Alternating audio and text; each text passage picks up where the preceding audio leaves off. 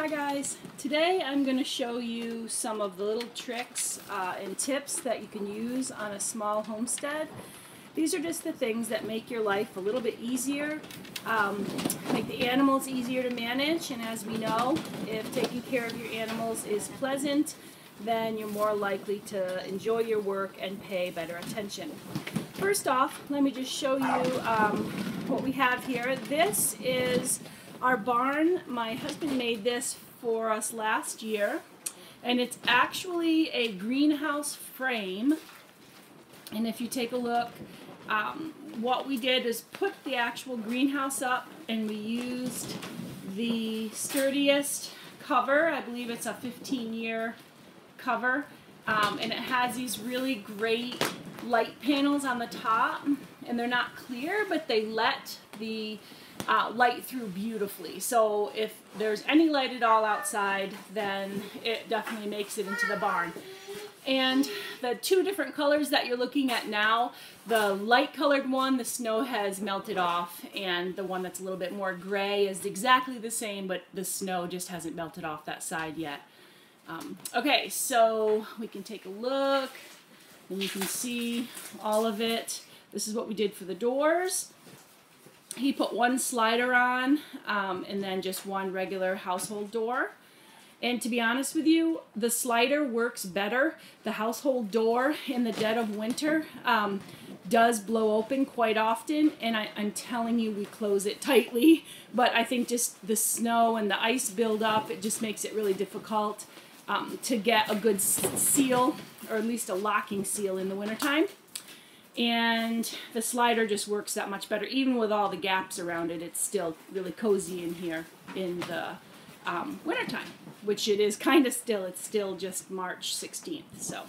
Okay this is where we store our feed. This uh, we had a power short here when we had all that ice this year. Sorry about that. And we um, had this freezer go so there was nothing wrong with it. It just um, didn't get cold anymore. Bazzy, would you open that? Good. Open it right up. Okay, so this is where we keep our feed. Um, and it's nothing fancy in here, but I can keep my baking soda and the minerals go on the little shelf. And then I keep the feed in here. There's uh, one bag that I'm working out of. The other two are empty because you never throw away a good feed bag. And down on the end, Bazzy, can you hop down? Just pull the bag that Mama has a string in. If you take a look there so we can see. That's where, no, leave it in, sweetie. You just want to show them what's inside. Tip it towards me. There you go. As you can see, it's almost full now of string from the um, hay bales. I really recommend you try to go with the string type on your hay bales instead of the plastic. It seems like the string does break down um, if you get it left in the pasture or what have you, which mysteriously happens here. Um, that seems to break down a little bit better, but nonetheless, any string that you find always gets picked up and put in there. Okay, you can close that up, honey. You can close it up. And this really cuts down on rats, uh, mice, anything, um, because you can't smell it or anything, and it stays perfect even in the summertime. Okay, so over here looking from this end of the greenhouse slash barn.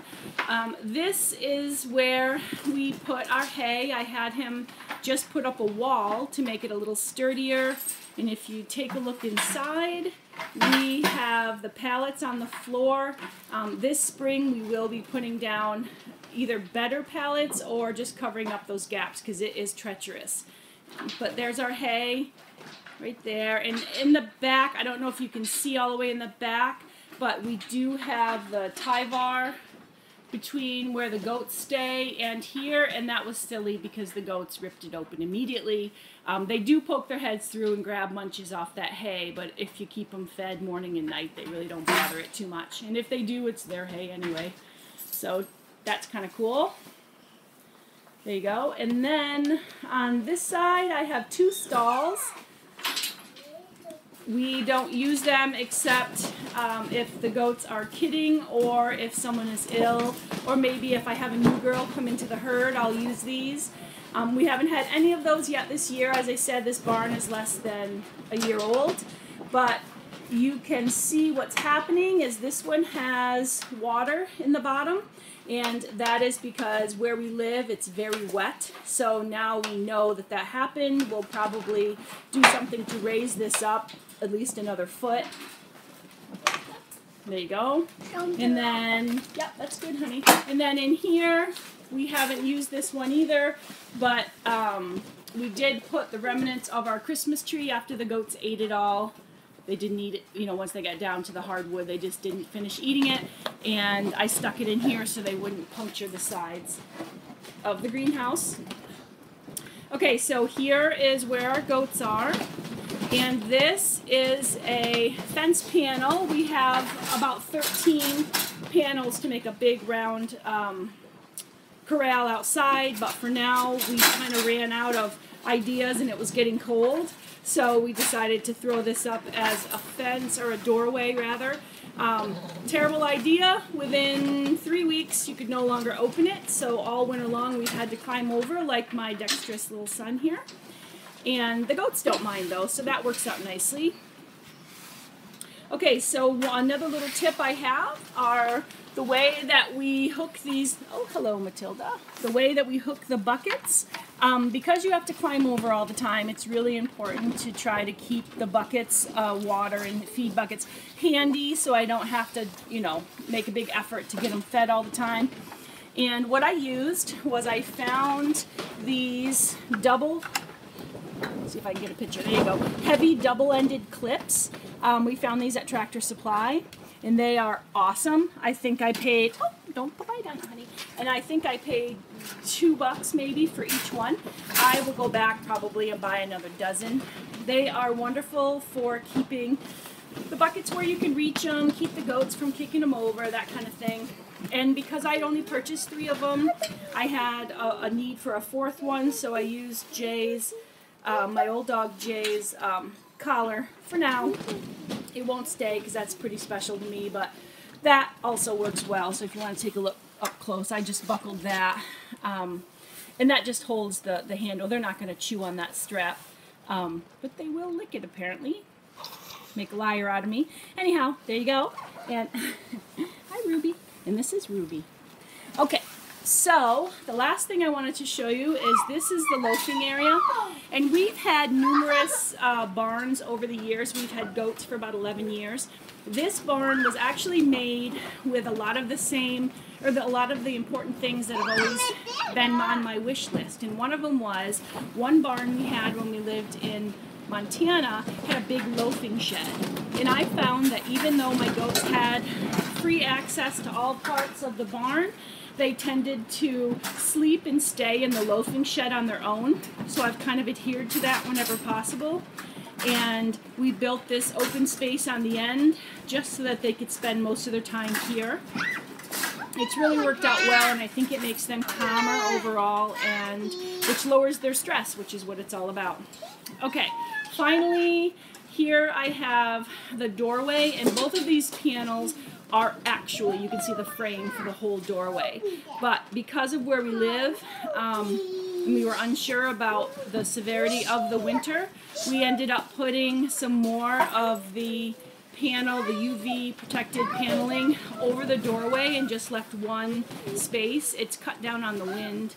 Um, oh my gosh, so much, which has been really nice. Yes, and so the only drawback is from that angle, we still get snow blown in right in that corner there. So I wasn't able to utilize this. I wanted to put a hay rack over on this side and make it the eating side, but it just didn't work out that way this year. You know, everything's an experiment. So anyhow, that's fully removable. We'll take that off in a couple of months, maybe less, depending on the weather. Um, but again, we'll keep it stored carefully and put it back up next year because it was in that center beam, because it was just really a, a lifesaver for the goats. And let's see, up on the top there, I'm sure my electrically minded husband would want me to point out, that's where we put the charger for the fence. Um, it works beautifully. It's actually off right now because the goats don't go out in the deep snow barely at all. Um, so it hasn't been an issue. But that's nice. And the lighting there, we have one on that end and one on the other end.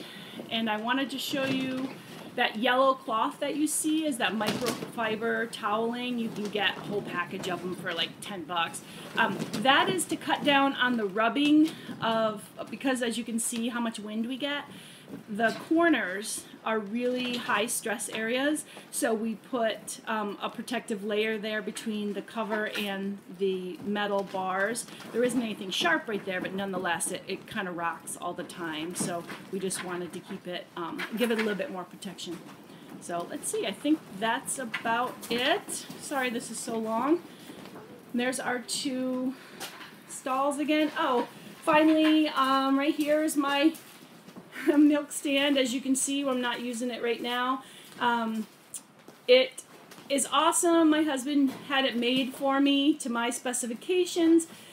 But between you and I, I appreciate it, but a metal milk stand is a very, very cold uh, thing to work on. My favorite one was the wooden one that I made back in Montana, but we didn't bring it with us. So um, I love this metal one. I'm very appreciative of it, but it's difficult when I spend a long time kneeling on it, and it's hard for me to set on when I'm snuggled up and milking the girls. It's just really, really cold.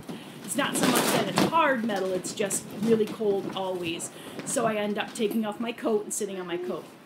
When in the wooden one, I didn't have to do that. So if your husband or wives or yourself are deciding on a milk stand and you could get metal, I would uh, say try for wood. Metal will probably last forever, but wood um, is much more comfortable.